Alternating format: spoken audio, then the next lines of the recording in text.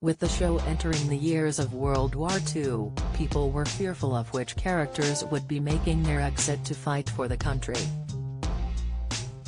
Although Channel 5 viewers saw both James Herriot, played by Nicholas Ralph, and his best friend enlist, it was Tristan, Callum Woodhouse, who left for his military service in the festive special. Despite his brother, the usually stern Siegfried, played by Samuel West, trying to intervene, Tristan had made his mind up. After driving him to the station, the duo embraced in a heartwarming hug to say their goodbyes, taking Tristan by surprise after expecting a simple handshake. Although it's not only his brother that he's leaving behind but also his best friend James. Stephen Tompkinson hit by double-death family tragedy after fireball car crash Speaking about the emotional exit on Masterpiece Studios podcast, Nicholas revealed there are mixed feelings for James watching Tristan leave. The actor said, I think he's incredibly proud of Tristan at that moment. He has a lot of admiration for him.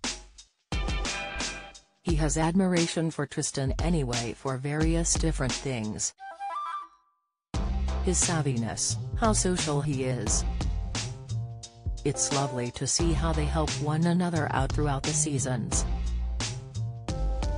Nicholas highlighted how viewers have seen Tristan be the person who initially helped James in the early seasons which gradually changed.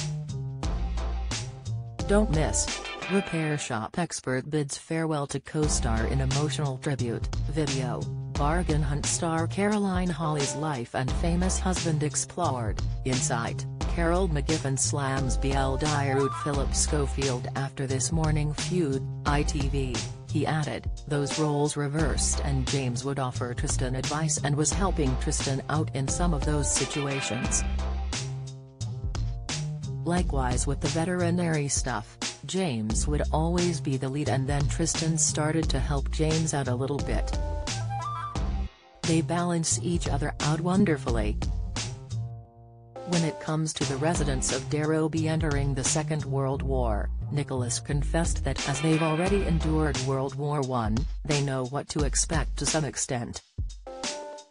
The actor continued, you learn all about that in school so the realities of war aren't lost on anyone.